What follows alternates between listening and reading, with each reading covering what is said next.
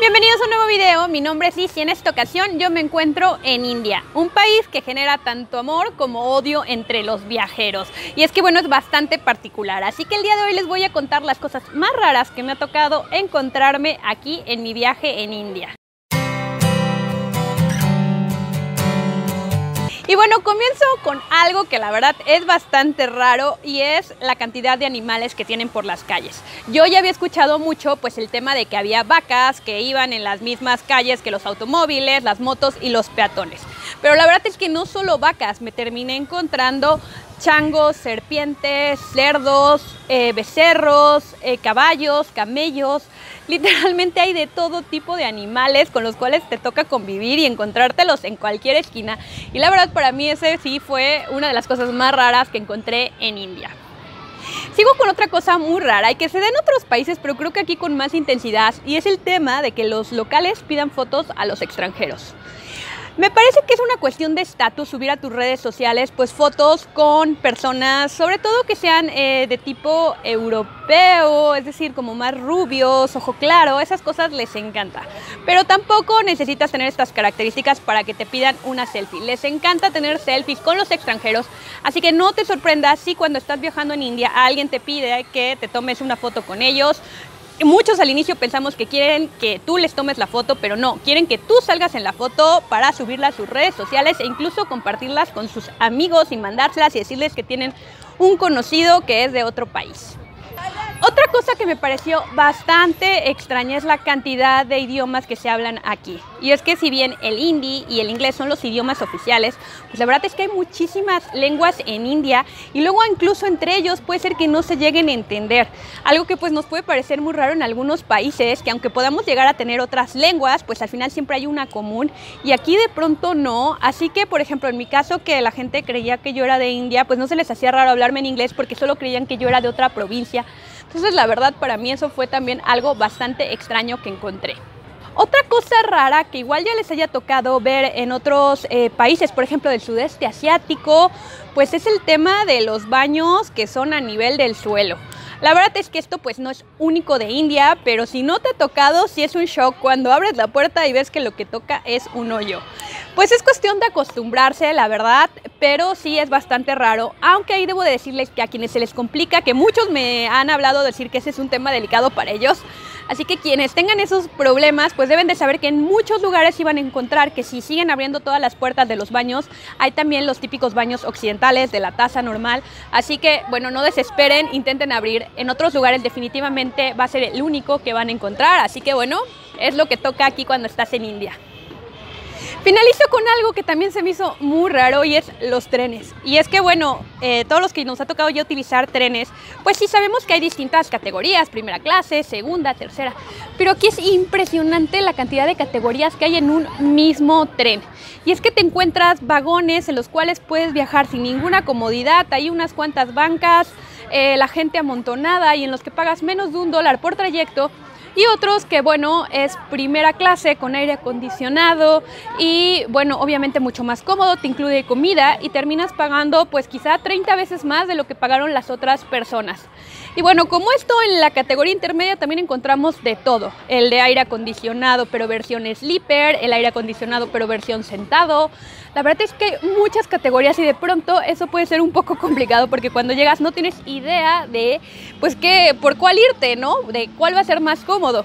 Ya con mi experiencia les puedo decir que definitivamente para trayectos largos la versión de Sleeper con aire acondicionado es súper cómoda porque son muy amplios los espacios y bueno, tienes tu propia área que incluso la puedes utilizar como cama o bien para poner tus cosas y ahí tenerlas juntas, así que yo esa se la recomendaría. Y ya si es primera, segunda o tercera clase de aire acondicionado, pues ya da un poco igual mientras vayan en este tipo de asientos, así que si tenían la duda, pues ahí va mi consejo. Y bueno, pues estas fueron algunas de las cosas extrañas que me tocó encontrarme por India. Ustedes cuéntenme qué otras cosas raras han visto cuando están de viaje y también por supuesto los que ya vinieron a India, pues ustedes qué les llamó la atención. Recuerden que mucha más información la pueden encontrar en mi sitio web que es munducos.com, así como en todas mis redes sociales que me pueden encontrar como munducos.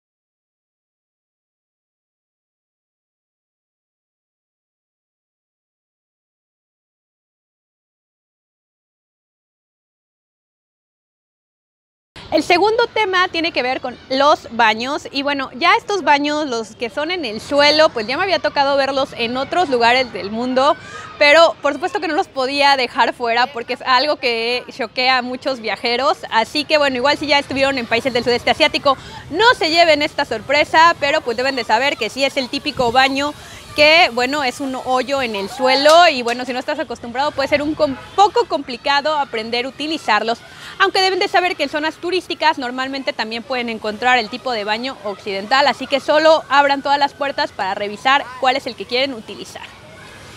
Sigo con la tercera cosa rara que encontré en India y esta tiene que ver con su sistema de trenes. Nunca en mi vida me había encontrado un sistema tan complejo y es que tienen muchísimos tipos de categorías en, los trenes que van desde el, eh, primero hay una parte de aire acondicionado y otra general. Obviamente aire acondicionado pues es más costosa, pero aún dentro de ella hay distintas clases de que si quieres ir solo sentado, que si quieres que sea sleeper y se haga cama, pero luego si es de día el sleeper no se utiliza y entonces se utiliza como asiento. O sea, el punto es que hay muchísimos tipos de trenes y de variedades y así son los precios.